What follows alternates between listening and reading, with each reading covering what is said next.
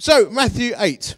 Um, I'm not, because uh, I took up a chunk of time, 10, 15 minutes on that. I'm not going to talk for a huge long time today, but we are going to look into these astonishing verses in uh, Matthew 8, where um, Jesus, as usual, um, really, you know, he's, uh, he's a man who goes to the heart of a matter. And um, just like had this uncanny ability to nail people, to just find out exactly what was going on in their hearts and pin them down. And it's exactly what we see when we look into this passage here. Um, I'm going to tell you a little story uh, before we get going. Um, I've often said that Karen, um, Karen lives it, and I talk about it that has happened all the way through my my married life, and um, it's been like uh, an excruciating lesson in um, making my words at the front match up with what actually happens in our lives. And um, the the thing that happened for me and Karen was that I was being called into ministry, and um, I, I, really passionately wanted to serve Jesus and do evangelism. Um, but we were living in this. Some of you have heard me say this before. We were living. I'm just looking up something while, this. We were living in this uh, yuppie pad. We had our nice uh, two-bedroom home, uh, but it was all kitted out beautifully, and everything about it was wonderful. And I'd just been leaving this uh, career in banking, but I had um, a kind of sense in my own heart that God wanted me to reach the poor. Um, uh, but I wanted to do it for my yuppie pad. I, um, I wanted to serve Jesus and leave my career in banking, but I, didn't want to leave everything. Uh, it was conditional fellowship. Um, so I was hatching all these plans for uh, uh, not moving, but, but planting a church. And then one day I came home and found Karen crying uh, in our bedroom, uh, all sort of weepy. Um, I'm not a man of, of great tears. Every now and again, I, I get emotional about things. Uh, so I was, this is early on in my married life, and I was getting used to being someone who exhibited a bit more emotion. I just showed a cover of the video at the time of the sound of music, and tears would emit what is this strange moisture on. Even sometimes at adverts, Karen can be emotional. Um, it's true. Um, I've never seen a quite a Monty Python sketch yet, but I think the potential's there. So I was getting used to this kind of thing. And uh, I said, What's going on? And she said, Well, I've just been reading that bit in Matthew chapter 8. I said, What is that bit in Matthew chapter 8? She said, It's when Jesus said, Foxes have holes and birds have nests, and the Son of Man had nowhere to lay his head. And I said, Yes, that's a good Bible passage, isn't it? He said, I think God's speaking to us. I said, Really? What's God saying to us? He said, I think we need to move to the council estate where you want to do your work. And I said, No, I don't think that's what Jesus meant. I think I think what Jesus meant was in your heart, in your heart, you've got to be prepared to move. Like, he didn't mean it. Like, there's loads of weird stuff in the Bible, like killing your neighbor's ox and all this sort of stuff, and it can't mean it. Can say, no, I, I think that's the Lord. And long story short, uh, that verse really spoke to us and it followed uh, what followed was essentially has been and still continues to be a lifetime of challenge. That our lives have been punctuated by moments where god has spoken to us there are a number of key landmark verses where we have been called to lay it all down and much of that is in secret uh, some of that is visible. Uh, i actually think um, that one of the reasons uh, that despite our flaws in our lives my daughters have come through for the Lord is that they have seen us pursue some of these things, uh, sometimes personally great cost. So the gospel has been real, despite our, you know, they've seen us row, you know, they've seen me get things wrong most days, and you know, but they have seen a heart to follow, uh, aside from all the weirdness and sin and failure and, and Karen, when I was talking about this over a cup of tea earlier with Karen, uh, Karen said, well, actually, I think it's a fear of God as well. Um, and, you know, speaking for Karen, Karen does fear the Lord, and I think, I think, you know, the girls have seen that, and I think underneath this, there's some stuff here which, as we start to unpack it, is extremely challenging. Um, so we need to get what's going on. So let me read it to you. Uh, let's take it from verse 18 from chapter 8.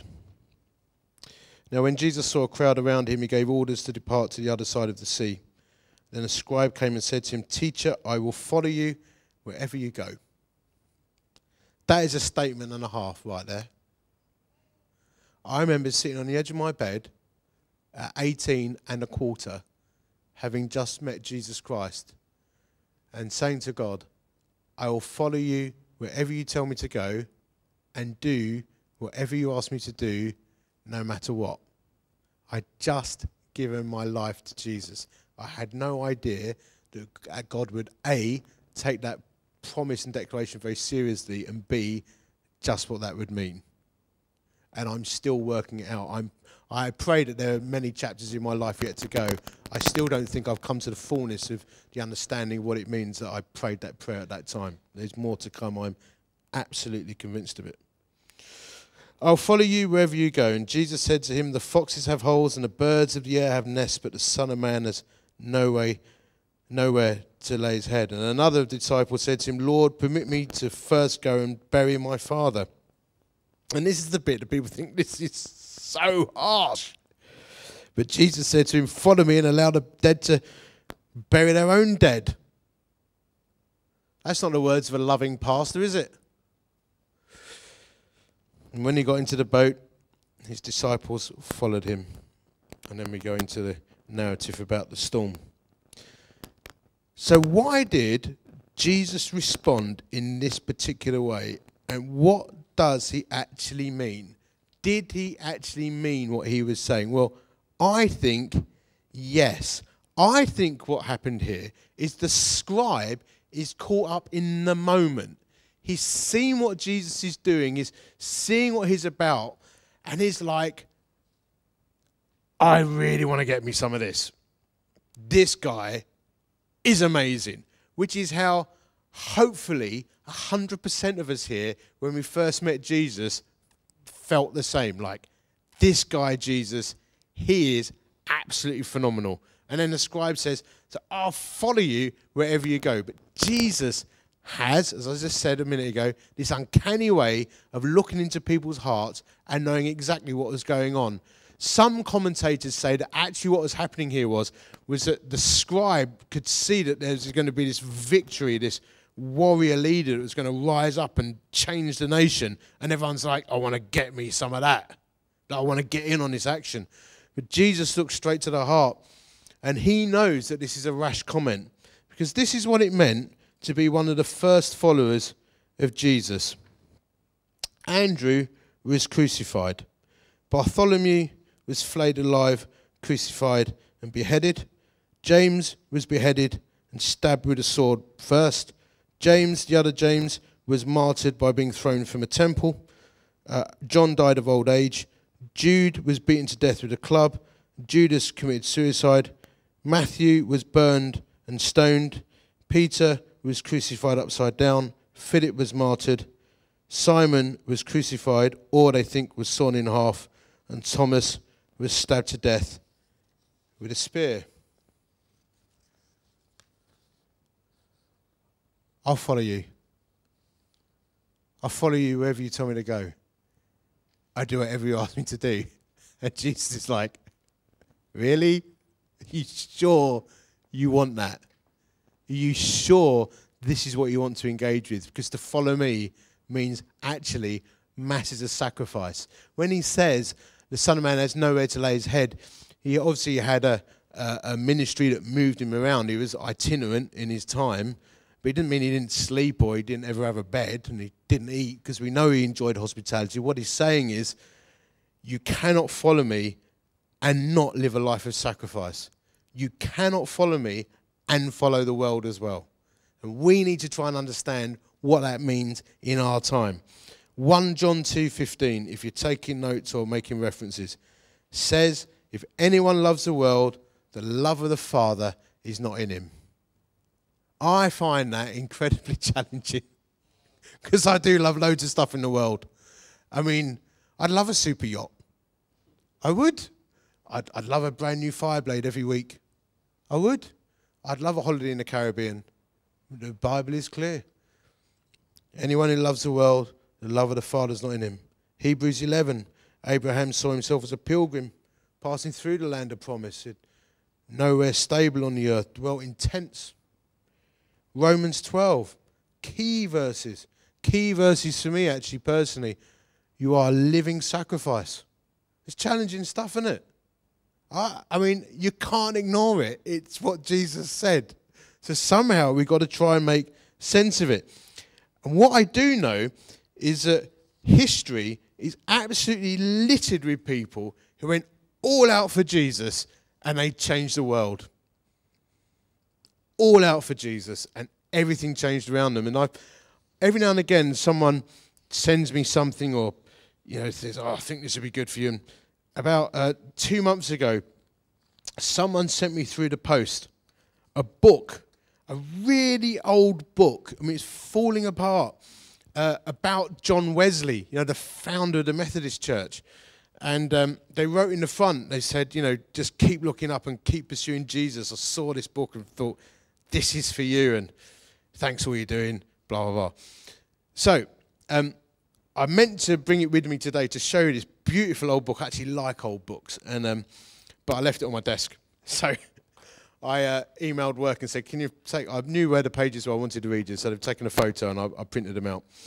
So I'm going to read you this account of Wesley, um, which will take a couple of minutes, but I, I, I think it will stir you.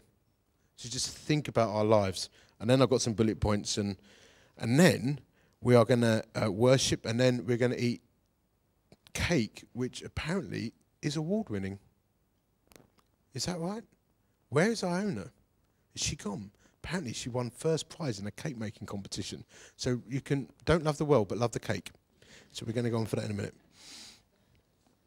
When they came to John Wesley, that great vision of the world as his parish, he very soon saw that to undertake and overtake the great task of carrying the good news of the gospel right through the land, he would have to enlist some irregular forces as well as the regular ones. So he began to appoint carefully selected men as lay preachers. John Cennick, the first of this splendid band, led a life as devoted as John Wesley himself. He burns out at the age of 37. We'll ignore that bit. Is not good. And lies in the Moravian burial ground at Chelsea. Thomas Maxwell, his name is second on the list, actually started to preach before John Wesley, gave him permission. Wesley, hearing this, journeyed in hot haste from Bristol to London to stop him preaching but found as his far seeing mother told him that this young man clearly had a call from God to preach, every bit as much as John Wesley himself. One by one, others were added to this corps of rough riders. That's what they called them. They called them the Rough Riders. It's like the A team of its time, the Band of Brothers. And they proved exceedingly useful in many ways. They prepared the way for their great and tireless leader. They worked under him and with him, and they carried on when he was moved to another centre. They were poorly paid, poorly clad, poorly equipped, poorly housed, but they had the courage of heroes. We enjoyed great poverty and great peace, said one of them very simply. They covered vast distances, mostly on horseback and sometimes on foot. We can the more readily understand this when we hear that in 1746 John Wesley divided the whole of England into seven circuits. Peter Jaco, for instance, was appointed to the Manchester Circuit, which took in Cheshire, Lancashire, Derbyshire, Staffordshire, and part of Yorkshire. That's quite a big circuit. Think of what that involved in every way of tireless travel over the roughest of 18th century roads. Many a day he rode his horse 30 to 40 miles, preaching three or four times in different places on the way every day.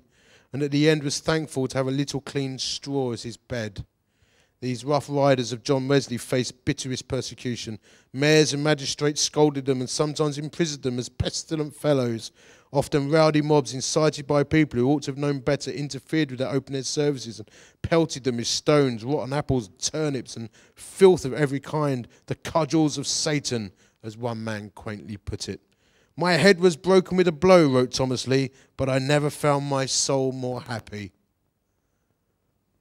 It was this same indomitable soul who, at the end of his days, said triumphantly that if all the hardships of his life as one of John Wesley's travelling preachers were spread out before him, he would pray, Lord, if thou wilt give me strength, I will now begin again. No wonder these rough riders were invincible. Like John Wesley himself, they were denouncing no uncertain terms the evils of the day smuggling, drunkenness, and worldliness. They stood alone in marketplaces and on village greens, and they gave their message in just the same way as their great leader did, and with the same results. Their wives were just as heroic, desperately poor, despised by their neighbours, continually on the move, left alone to manage their large families. These pioneer preachers' wives deserve a place of honour, all their own in the thoughts of Methodism these two centuries after. John Wesley enlisted into his regiment of Rough Riders, bakers, stonemasons, miners, labourers, troopers in the King's Army, as well as a few who had more education or higher position in life. We do well to honour the fathers that begat us and to stand at the salute of John Wesley and his regiment of tireless horsemen as they go riding by. Surely some who hear their story will want to catch their spirit. I, I read that and I thought, that's amazing. How is it they got so gripped by the Lord they would lay everything down to serve Him? Everything maybe even their lives. And then I look at my own life and I think, I'm so comfortable. And I remember when I first felt called to be a full time evangelist, I would have I would have paid to have done the job. I would have given everything to do it. And somehow that gets numbed and blunted over time. Numbed and blunted over time. So I felt myself reading this passage, just real memories stirring up of the early days when I was called back and thinking, how do we make sense of this today? Called to a place, got our lives to lead. We don't want to be all weird about it and say you can't have nice things. You don't want to go back to the days of puritanical weirdness, smashing up instruments and all graven images and doing stupid things and killing all joy. I don't think that's what this is about. But and I think it's more than saying you've got to be willing. I think we actually got to do stuff. You know, it's one thing to say you've got to have the heart for it, but I think we've got to do it. So what does it mean to to not love the world but love Jesus more? So I wrote a list. It's not an exhaustive list. It's just an example. Um, and if any of this seems near the knuckle, it's not pointing at anyone. Literally, I just sat down and I wrote a list. I just, I literally just tapped out a list of things that sprung to mind which speak to me as well. I'm as much looking at myself when I write, read this list out as, as anyone else. This is what I think I'm feeling challenged on. I don't wait until my mortgage is paid off before I make a radical decision to serve Jesus, if that's what God's saying. Matthew 6:25. Don't don't worry. Seek first the kingdom or waiting till a bonus has come in I remember talking to one guy who's a, a stockbroker in London. Already had a bunch of money in the bank, and he felt a call to be an evangelist. And he, and he wanted to go to Bible college. And he went through the selection process and he was going to defer it. I said, Why are you deferring it? He said, Because I'm going to get another 300 grand in October if I stay there. And I said, How much money you got in the bank? It's about a million quid. I said, Oh. I said, what do you think Jesus is saying about that? He said, I think he wants you to have the 300,000. well, just bring it before the Lord. And uh, it's okay. So he did. And then he, he, sent me a message and he said, I brought you before the Lord. And, I, and I, I felt Jesus say, well, what's more important? Another 300 grand in the bank or, you know, an extra year of telling people about me? He said, so I'll turn me back on the bonus. So I said, brilliant, that's great. So you know, Anyway, the bank paid it out anyway. so I thought that's good for him. And he was incredibly generous, so he wouldn't just sit on his money. So I just thought, don't just wait. Because we do do that, you know. Don't wait, because there's things, there's always options in front of us to do stuff for the Lord. There's ways to navigate things. We trust God with our kids, those who love Jesus more.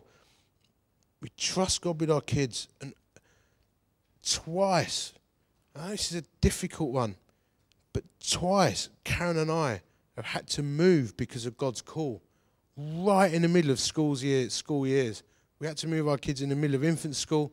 We had to move them in the middle of junior school. And we've always said to the Lord, if you call us, we and we have to do this, we've moved them again. And they're, and they're doing all right. Actually, I'm embarrassing, but they're, they're doing all right, you know. And I, I think because God, God had our backs in it, we were certain the Lord was speaking. I mean, sometimes we'll say, you know, we trust God with our kids, but then we're static while the whole school system rolls past. But what if God called you? What if He did to make some kind of sacrifice? I know that this can make people really grumpy and like really irritated with the preacher when they say stuff like this. I'm not saying anything that I haven't tried to live out myself and stuff that I always feel challenged on. But we also have a responsibility, I think, to teach our kids that God will come through. And sometimes we have to go put ourselves on the edge and trust that God will come through. And, and when they see those lessons being played out, you know, I mean, there was a time when, when we had to have conversations with Emily and Annie. It's like, oh, moving again. You know, we had to talk it through. So why are we doing it? And you know, and it was there were times when it was tough, but we can see now, looking back, the hand of God on them. And I think there are various things in our characteristic as a family that have come through because we're prepared to trust the Lord on it. And you can get trust fatigue. Trust me on that. Like, oh, days of Have I really got to do this again? Have I got to go again? But some people are called to it. And I don't think it's for everyone.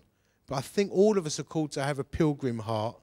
And all of us are called to face heaven and to trust Jesus. And it might be that you have to face that uncomfortable moment one day where God's called to go and reach the poor or do something radical. He's going to settle upon you. And then we have a choice to make.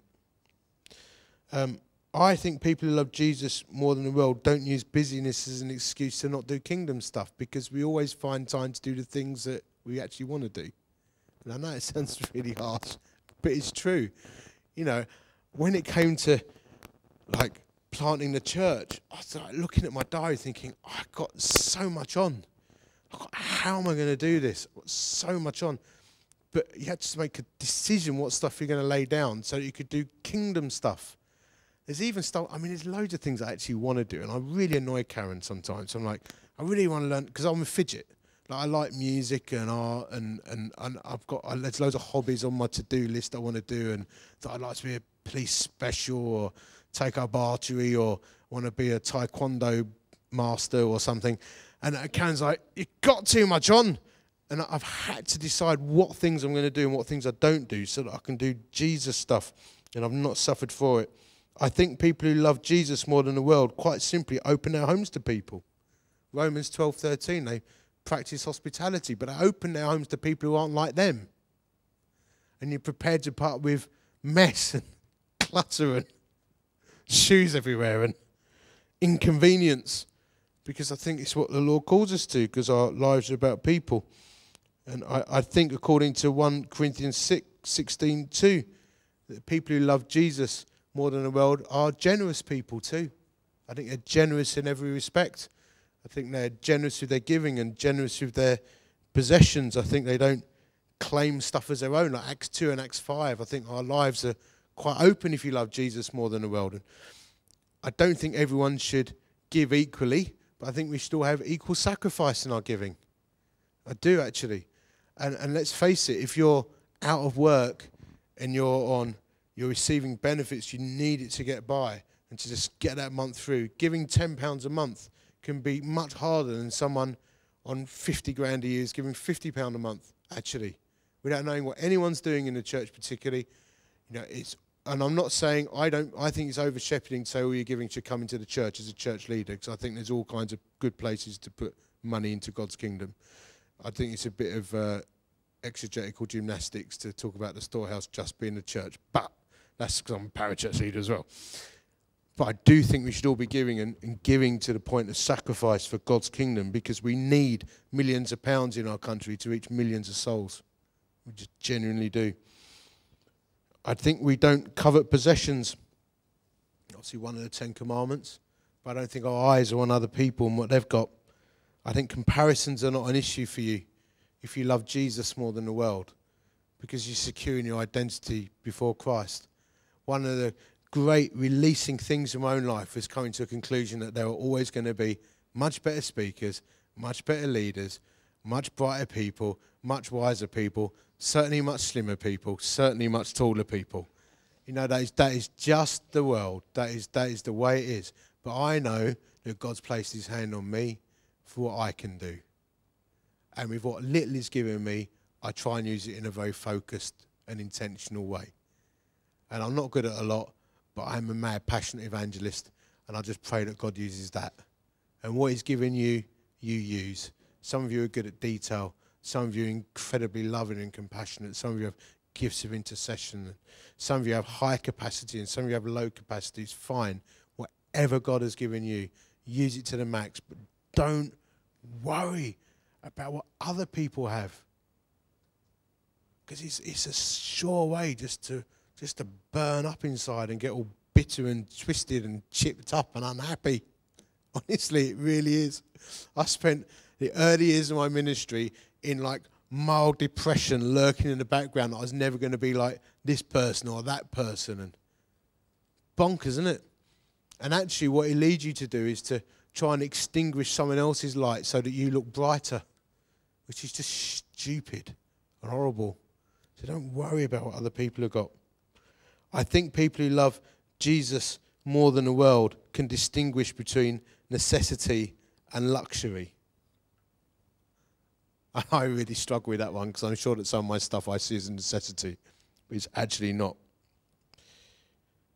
And I also think that people who love Jesus more than the world, the last thing I wrote on my list was that they don't view activities and life through a filter of what's best for them and what they like. They view life through a filter of what's best for everyone else. Do nothing, it says in Philippians 2, out of selfish ambition or vain conceit, but be a servant of all. And do you know what makes a healthy church? Actually, it's really simple. Do you know what creates a sense of a healthy family? I know there's leadership and, you know, nice worship and average teaching and all that kind of stuff. But I actually think what makes a beautiful church full of beautiful, loving people is our eyes want on what works for everyone else, not on what works for you. And you, you try and walk emotionally, mentally a mile in someone else's shoes. And so, like, instead of getting wound up if the kids are running around you, just come and spend a bit of time with them or volunteer in a kids' work. Or if you don't think that the tea's good enough, or you get on the rota and, do you know what I mean? Like, if you're frustrated, there's not enough evangelism happening, well, just step up and help us. And get involved. And like if there's a curry night, I have not had this said to me. I'm just I'm thinking I'm shooting from the hip. There's a curry night. You don't go. I don't like chicken bhuna, which I personally don't. You go. I know a mate who loves chicken bhuna, so I'm going to take him. Do you know what I mean? So you, everything is through the filter of what will work and be a blessing for other people. And I think I said this on a vision night because Karen had this felt this word from the Lord. If we start really pushing into these things. And we are faithful with the little things that God has given us.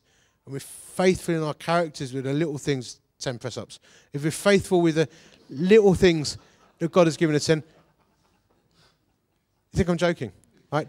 You, God will bless us mightily in the big stuff. Like I really do if he sees our characters being fashioned and our priorities on the kingdom, seek first the kingdom, Jesus said, seek first the kingdom. All these things will be added to you. Love me before the world. And, and we're not all going to get there immediately. Because I have found for myself that the more I seek to press into the things of God, the more I realize I've just got a dark center actually. Like, and I've got all these issues that I've got to bring before the Lord. And I, actually, I'm quite selfish. And I've said to you before, I, my prayers are selfish. All about my kids and my wife. And I've got to be praying for other stuff as well.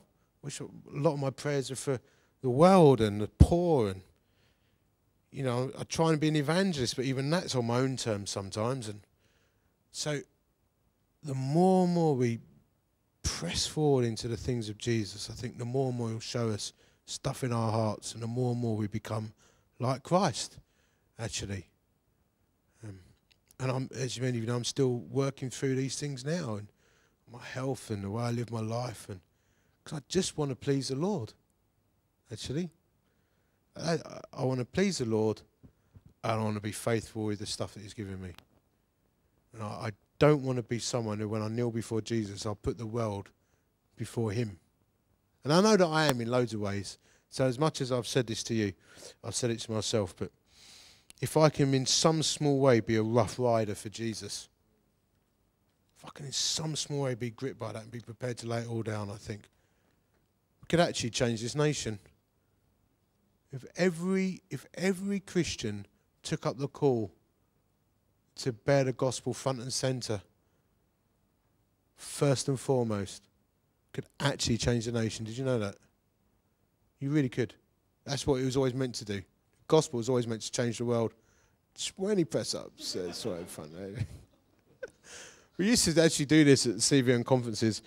We used to say, like, if it, you, you if your phone goes off, you come at the front in front of two and a half thousand people and you do like 10 pull ups or 10 press ups. This bloke came forward and he said, I had a heart attack last week, like 50 press ups like that. It's like, that's terrible. I mean, it's a joke. Do five. No, we're fine. Anyway, so bit of a challenging passage, bit tough, and I'm not, I'm not saying this is what you should do because I don't believe that.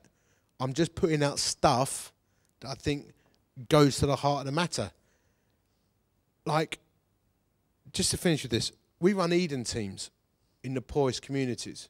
And I was talking in Ashford yesterday whether we should have Eden teams because it's part of their town is in the top 10% areas of urban depriva- deprivation. And I was on a bit of a recruitment drive during one of my talks. I actually said to them, um, I think you don't need, you shouldn't pray, um, please show me if I should do this. You need to pray, please show me why I shouldn't do this. Actually, because that's, I think that's a more honest prayer. And I feel that for myself. You know, I spent years working in a poor community, and I think I need to have good reason why I can't do what I do. And I've asked that since I joined the message. I've asked that question of the Lord. And because I'm away from home so much, I'm traveling so much, and I've got so much going on, it'd actually be hugely unfair at the moment. So it's just not right. But I do continue to ask that question. If God ever called me away, we'd have to ask that question again. And so that's in my context. What is your prayer like that? What is your equivalent? I can't tell you what your prayer is, but what is your version of I'll go wherever you tell me to go, I'll do whatever you ask me to do? Do you follow? So don't think I'm telling you what you should do. So you've got to find that from the Lord.